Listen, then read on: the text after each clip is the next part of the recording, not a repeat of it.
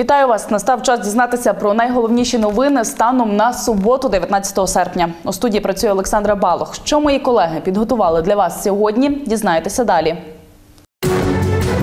Вірус АЧС, ситуація у місті, дорожньо-транспортні пригоди, місця концентрації, довгорічна співпраця, реалізація проєктів. Більше не аварійний. Нарешті відремонтували. Скоро до школи, підготовка у розпалі, завершення будівництва, спортивний комплекс. Вручатимуть премію. Номінація краєзнавство, охорона довкілля, екологічна етика. Бойовики навмисно підпалюють поля та лісосмуги на лінії розмежування із метою витіснення підрозділів сил АТО із займаних позицій. Про це заявив речник Міноборони з питань АТО Олександр Мотузяник. За його словами, лише упродовж останніх кількох днів були відмічені подібні випадки поблизу Зайцевого, Катеринівки, Мар'їнки, Верхньотурецького. Він зазначив, що українські війська докладали максимум зусиль до гасіння цих пожеж, часто із ризиком для життя. Від таких злочинних дій противника страждають і мирні жителі які проживають на лінії розмежування. Так, у четвер, унаслідок влучання запалювальних боєприпасів в один із житлових кварталів Зайцевого виникла пожежа у кількох будинках. А у п'ятницю автомобіль української сторони СЦКК у Зайцевому був обстріляний вогнем ворожого снайпера. За минулу добу внаслідок бойових дій в лавах українських військ загиблих не було однак троє бійців отримали поранення. Укрпошта захистила перед всесвітнім поштовим союзом три проекти на суму більше ніж 800 тисяч доларів. Програми будуть орієнтовані на підвищення якості міжнародних операцій. Про це повідомляє прес-служба компанії. Як зазначається, на проект із вдосконалення перевезення пошти виділяється 458 тисяч доларів для придбання 10 автомобілів вантажною підйомністю 4-6 тонн. Іншим проектом передбачено придбання рентген телевізійної установки та систем відеоспостереження в бюро обміну Києва та Львова для посилення безпеки міжнародних відправлень. На ці заходи виділяють 216,5 тисяч доларів. Третій проект із бюджетом у 167 тисяч передбачає модернізацію обладнання у місцях міжнародного поштового обміну і сортувальних центрах, а саме придбання безпровідних сканерів, термопринтерів, роликових та стрічкових конвеєрів, стележів та іншого обладнання для покращення обробки та сортування міжнародних відправлень. Зараз же за цими проектами проводяться тендерні процедури. Банкам дозволили списувати безнадійні кредити без податкових наслідків. Про це повідомляє Національна асоціація банків України. Державна фіскальна служба відкликала свій лист від 8 лютого 2017-го, яким встановлювалося, що заборгованість визначається безнадійною тільки в частині сум боргу понад 360 днів. Тобто, якщо заборгованість існує тільки по тілу кредиту, а за нарахованими відсотками відсутня, для цілої податкування визначається тільки заборгованість по тілу кредиту. Додається у ньому. Відзначається, що цьому посприяла позиція Мінфіну, сформульована у відповіді на звернення НАБУ. Організаторів врізки у нафтопродуктпровід на Закарпатті арештували з можливістю застави по 345 тисяч гривень. Про це повідомила речниця Ужгородського міськрайонного суду Надія Гайруш. За її словами, визначена застава зумовлена і тим, що своїми протизаконними діями зловмисники заподіяли шкоду підприємству у мільйон 700 тисяч гривень. Нагадаємо, 16 серпня правоохоронці затримали групу із п'яти осіб, які викрали 18 тонн диспалива.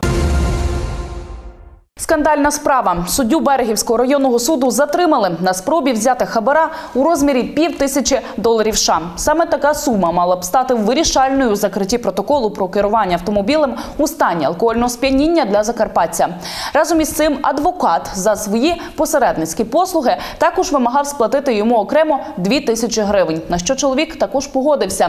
Операцію провели спеціалізована антикорупційна прокуратура Генеральної прокуратури України, відділ боротьби з корупцією та організованою злочинністю управління Служби безпеки України у Закарпатській області та слідчий відділ прокуратури Закарпатської області.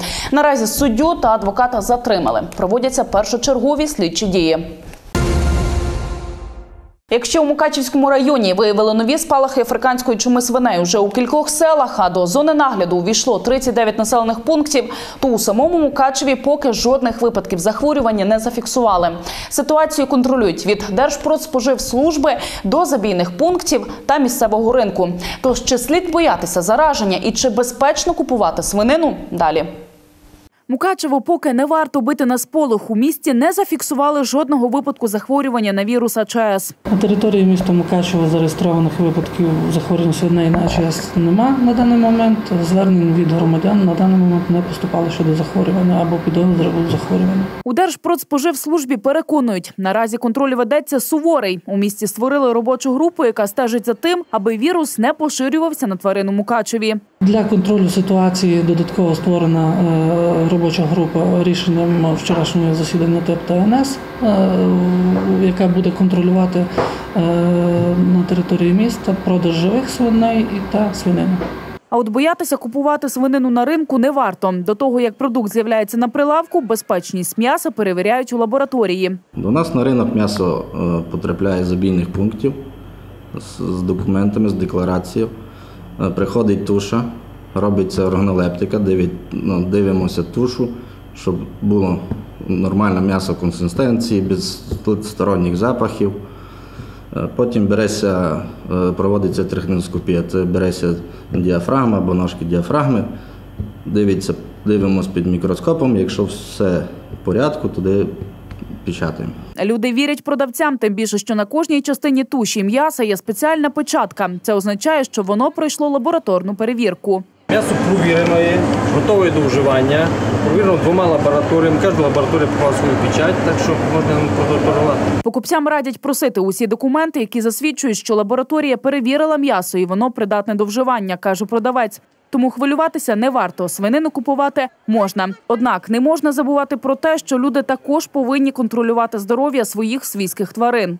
Основним заходом профілактики то є закритий режим утримання свиней, тобто не допускати того, щоб е, ну, свині До того ж, усі свині з уражених територій, які під карантином не підлягають забою. У Мукачеві забійних пунктів немає, оскільки у місті мала кількість свійських тварин. У районі наразі діє тільки один. До того ж, стверджують ветеринари, що м'ясо з уражених територій туди потрапити не може. Адже там, де оголошено карантин, тварини підлягають миттєвому знищенню на місці та спаленню.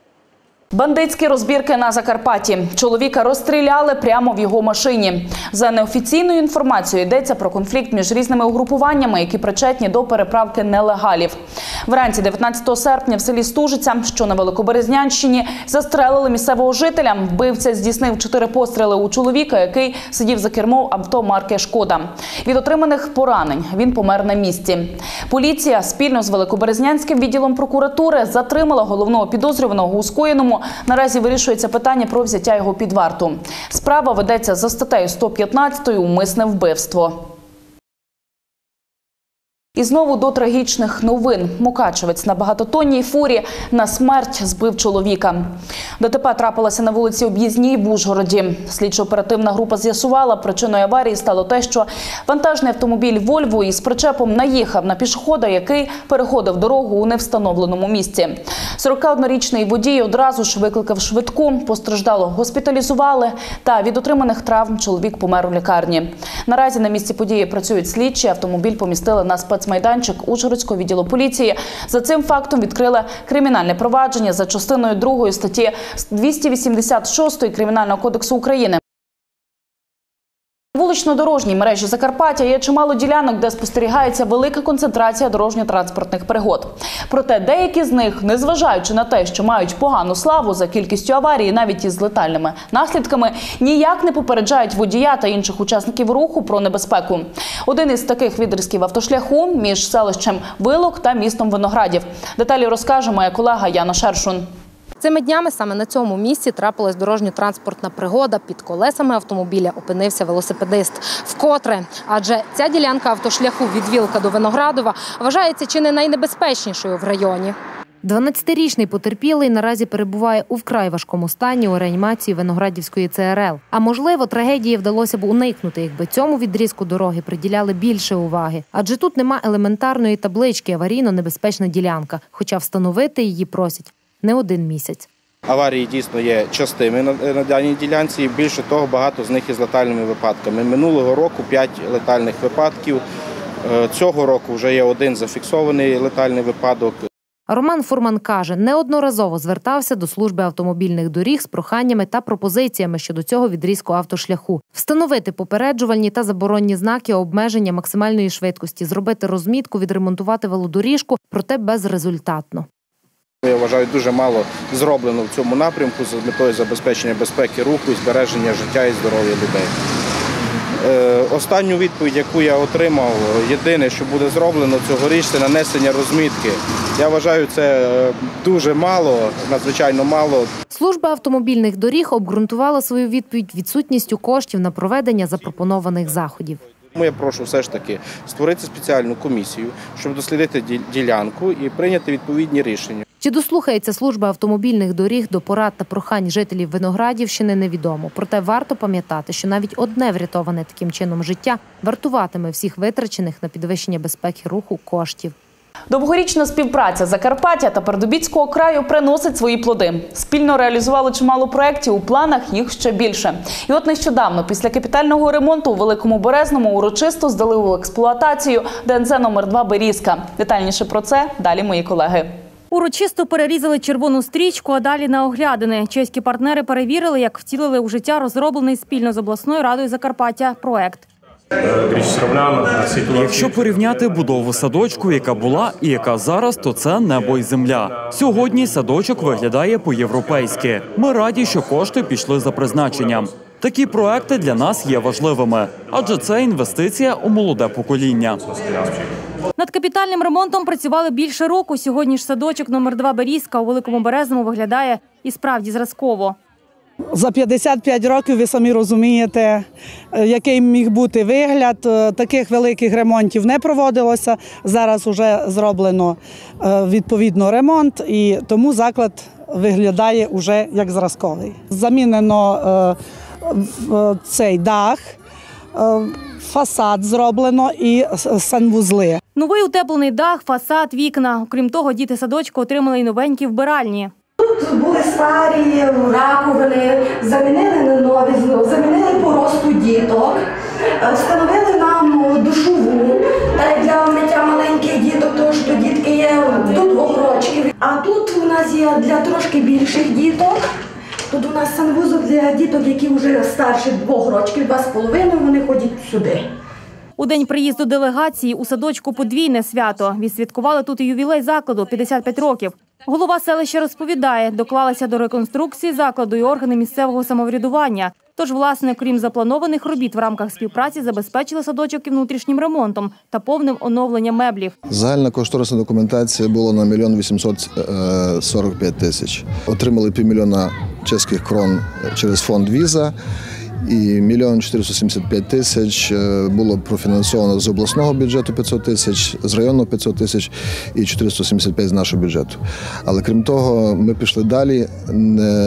Вирішили, якщо то вже повністю зроблений дитсадочок, то його і замеблювати по-новому. І майже півмільйона гривень ми, ми в селищний бюджет потратив на закупівлю нових е, ліжечок, матраців. Не можуть натішитися новими умовами і вихованці закладу. У подяку чеським партнерам підготували подаруночки, зроблені власними руками, а також святковий концерт.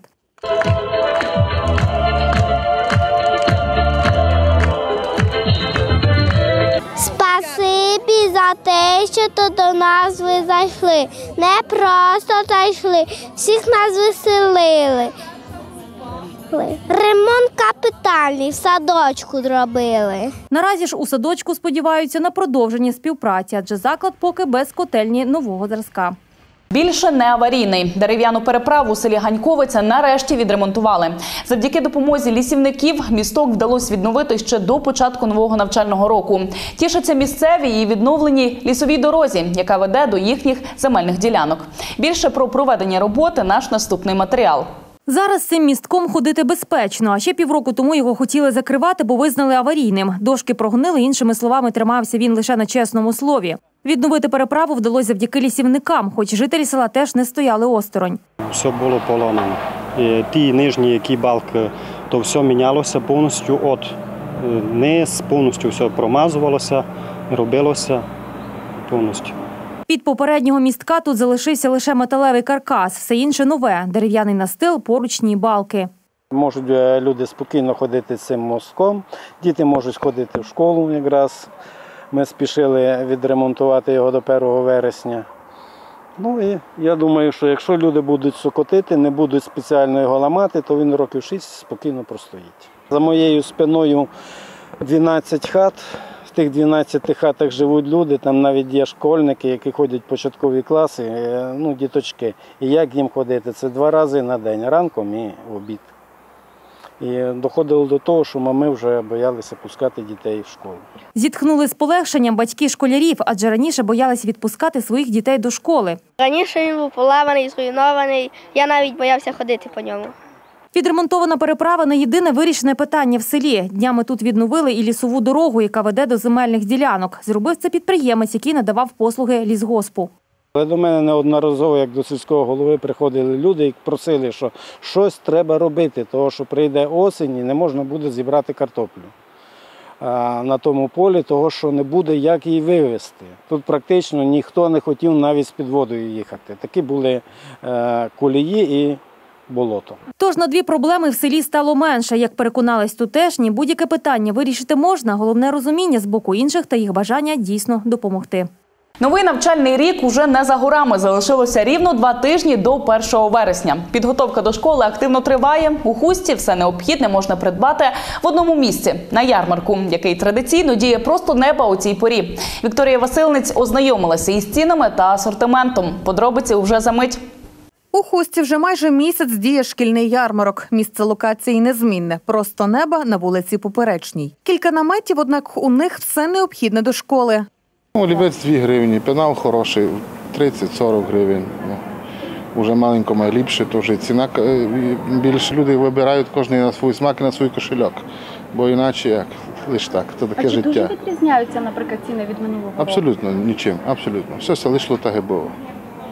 Ціни такі самі. Зекономити купуючи на ярмарку цілком реально. Шкільний рюкзак можна придбати навіть за 100 гривень. Це мінімальна його вартість. Звісно, є і дорожчі. Як то кажуть, вибір залежить від товщини гаманця. Наскільки розраховуєте? Ой, набігать сума, той щоденник лише 30 гривень. Ой, ви знаєте, я ще не збирала, але думаю, тисячі, півтора-дві можна ся вкласти. У мене вже дещо є, те, що залишилося з минулого року. Так що сказати я точно не можу, бо я ще передивляюся лише. Так, ну, я так розраховую на таку суму, що дві тисячі я маю вкластися. Тысяча четыре это чтобы полностью его одеть. З ног до голови. С ног до головы, как говорится. Якщо говорити про одяг, шкільну та спортивну форми, а ще плюс канцелярія, то так набіжить кругленька сума у кілька тисяч. Однак звичайний шкільний набір відносно недорогий. Ми думаємо, що це зошити. Е, Зошити, які підходять е, для предметів, ручки, щоб дитина писала. А на яку суму ну, це залежить від людини. Чесно, я вже якби все придбала, але для мене найнеобхідніше це е, зошити. Ручки це для мене дуже важливо, адже я колекціонер цих ручок, я їх обожнюю. Для мене важливо е, вибрати, обрати гарну канцелярію, щоб вона мені піднімала настрій впродовж навчального року. Забрати дитинку до школи 300 до 500 гривень, ото е, канцтовари. Ну і плюс рюкзачок, звісно, і там уже. Я думаю, що у півтори тисячі люди це вписують. Ярмарок закінчиться традиційно у перших числах вересня. У Тячеві підходить до завершення будівництва нового та сучасного спортивного комплексу. У ньому буде навчально-тренувальний зал, трибуди на 468 місць, конференц-зали, офісні приміщення, медичний пункт, душові, вбиральні, роздягальні та інше. Більше про це знає Євгеній Пасічник. Будівництво сучасного спортивного комплексу у Тячеві розпочало ще у 2012 році. Свого часу фінансування на два роки було припинено, а у 2015-му знову відновлено. У свій час починалося, загальна вартість була 11,5 мільйонів, передоларів 8. І практично ми закінчуємо зараз теж передоларів 26 і загальна вартість до 29 мільйонів. Це одна й та сама ціна, яка починалася, так і кінчається. Це секції будуть і баскетболу, і гандболу, і волейболу, і великого тенісу. У нас дуже сильна школа великого тенісу в Тячеві традиційно, ще із 70-х років вона існує. де е, юні тячівці займають призові місця колись на всесоюзних змаганнях. У спорткомплексі буде навчально-тренувальний зал, трибуни на 468 місць. Конференц-зали, офісні приміщення, медичний пункт, душові, вбиральні, роздягальні та інше. Тут проводитимуться змагання та турніри різних рівнів. Я тут працюю вже півтора року. Е, Було на стадії в нас фундамент був вже, ангар був. Я прийшов вже тут, робив адмінчастину, е, перегородки ставив, фарбував. Для Закарпатської області тут можна буде проводити міжнародні змагання. Це є дуже добре, оскільки в нас е, по Україні дуже мало таких спорткомплексів є. Комплекс планують відкрити до Дня міста. Тож на один об'єкт, де краяни зможуть розвиватися у спортивних напрямках та отримувати нові здобутки, незабаром стане більше. Уперше в Ужгороді вручатимуть премію імені Петра Скунця. Головних претендентів всього двоє в номінації Краєзнавство. Хоча спочатку їх було четверо, ще й з літератури. Однак після дискусії журі таки вирішили, що в останній премію не вручатимуть. Всі подробиці знає моя колега, тому далі детальніше. Лауреат національної премії Шевченка, перекладач, журналіст, поет і письменник Петро Скунць для Закарпаття був і залишається видатною постаттю. Він творив сам та підтримував молодих письменників і не забував про державність у своїх працях. Безпросвіття моєї нації, три століття реанімації. Гнала, гнала і загнала коня під Москвою козацька січ. І нема українського дня, є лише українська ніч. У 20 столітті Петро Скунц представляв на Закарпатті українську ідею в обласній бібліотеці імені Потошніка. Про нього нагадує меморіал, звідки він буквально дивиться на вікна своєї оселі. Крім поетичної складової, він є е, поборником України, він є е, першим головою народного руху України. Він е, був, як ми знаємо, в опалі через свої твори, був гнаний відповідно. А тепер Петро Скунць представляє ще й першу літературну премію обласного центру Закарпаття. Основною тематикою твору, який номінується на премію, має бути Ужгород чи видатні його жителі. А поза яку цінніших творів мало, то премія імені Скунця спонукає її поповнити. Цю тенденцію ми будемо бачити через 5-10 років, коли з'являться більше книжок. Ужгород це туристичний центр, місто, яке користується популярністю е, в туристів всієї України. А от цікавих творів про Ужгород, романів, отак як зараз модно ретро-детективів. Зараз з'явилася купа детективів про, про Львів, про 20-ті, 30-ті, про середньовічний Львів. Я сподіваюся, що це буде поштовхом, щоб з'явилися такі твори і про Ужгород. Всього номінацій на премію дві краєзнавство та література відбирали цьогоріч роботи за окремими критеріями. Але як нам пояснює заступник міського голови Ужгорода, комісія засідала двічі. Не пізніше е, трьох років це видання було зроблено, і до 1 липня потрібно було надати пропозиції. У галузі краєзнавства було дві роботи, які пройшли відбір. А у галузі літератури е, була залишилася після відбору тільки одна. Рішенням комісії було е, питання знято, тому що вже ця робота номінувалася раніше в інших преміях. Присвоїти премію імені Скунця претендентам комісія рекомендуватиме на сесії Ужгородської міської ради. Тож у галузі краєзнавства її отримують Михайло Тиводар та Віктор Шостак. Наступного ж року номінацій буде три краєзнавство, художня література та альбомна література. Грошова винагорода 10 тисяч гривень. Охороною довкілля переймаються не тільки науковці, економісти, а й представники релігії, причому незалежно від віросповідання та конфесій. Скільки б не лунало закликів про збереження навколишнього середовища, чинки людей залишаються на їхній совісті. Що ж таке екологічна етика? З'ясувала моя колега Ірина Ковальчук. Сміття на вулицях, у зонах відпочинку, в лісі, біля та у самих водоймах знайома картина. Так, напевне, відповідатимуть у кожному куточку України негативно, але я не знаю, як правильно зробити. Напевно, штрафувати. Мужчина лет под 70, постарше меня, вот эти все кусты сам вырезал и поубирал. И так было все красиво. Тимчасово. Тимчасово. Пока молодежь, которая стоит здесь, пьет пиво и курит, не выбрасывает это все налево и направо. А вот весной, вот здесь под этим деревом вообще лежал целый телевизор. Допустим, иду в 6 утра на работу, и вот, вот здесь, допустим, может стоять вот такой полиэтиленовый кулек мусора. Человек из дому с этого района Принес вынес, И тут залишив. чтобы не платить за бак авы, допустим, и ему тяжело вот сюда, допустим, до кефира в бак опустить. Он это вот здесь. Вон, смотрите.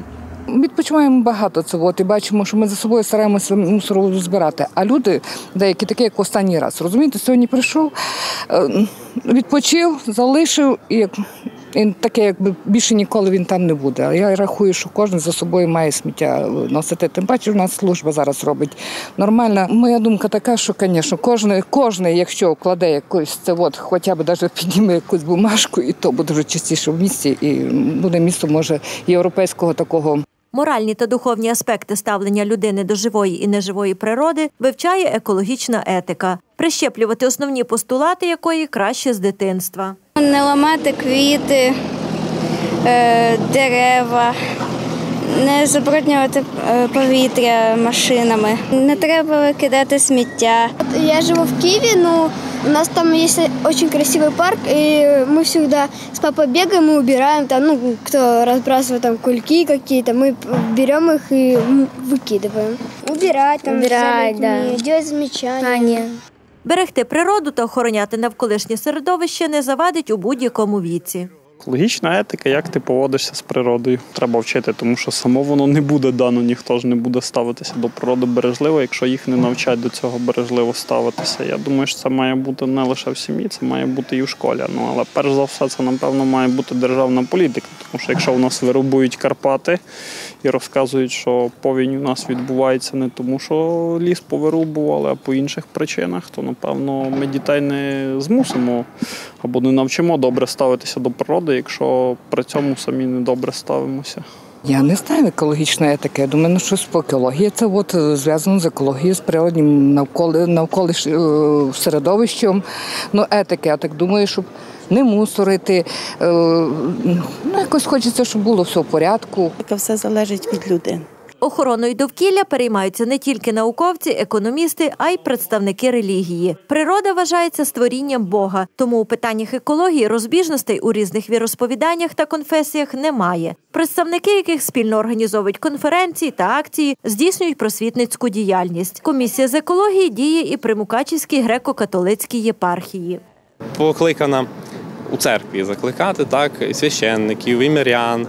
е, От під- піднімати церковну культуру екологічну, християнську, а також церква закликає е, ну, не християн, так або інших віросповідань Один із напрямків діяльності видання та розповсюдження матеріалів на екологічну тематику. До прикладу, у екологічно-церковному календарі виділені дати: День заповідника, охорони водно-болотних угідь, захисту морських савців, дні лісів, води, птахів, землі тощо, і навіть свято екологічної освіти. Найбільшу увагу приділяють роботі з молоддю. Е, виховання молоді, дітей молоді у християнському вченні, так, у християнському вихованні. Е, І тут якраз дуже важливо, якщо навчимо молоде, е, молоде покоління екологічної культури, воно все життя буде її зберігати і передасть своїм дітям. Ще один напрям дияконія, тобто соціальне служіння милосердю, а також літургія. У своїх проповідях священнослужителі роблять акцент на бережному ставленні людини до природи. Та скільки б не лунали заклики до збереження навколишнього середовища, чинки людей залишаються на їх сумлінні. Сьогодні, 19 серпня, християни святкують яблучний спас або преображення Господнє. Воно символізує кінець літа та похолодання. Цього дня у церкві освячують не тільки яблука, а й інші фрукти та овочі. Традиційно це груші, виноград, сливи, персики, помідори, а також мед і жмут колосся, жита і пшениці. Таким чином вірники прославляють різноманітне багатство природи. Таким було останнє повідомлення сьогодні. А що на вас чекає в інформаційній підсумковій програмі тижня «7 днів? Дізнайтеся із анонсу. Без права власності місцеве самоврядування проти Держгеокадастру. Автомийка у річці. Сервіс зі шкодою для екології. Тамплієри у середньому. Міфи середньовіччя. На цьому у мене все. Дякую, що залишаєтеся із нами. У студії працювала Олександра Балох. До нових зустрічей.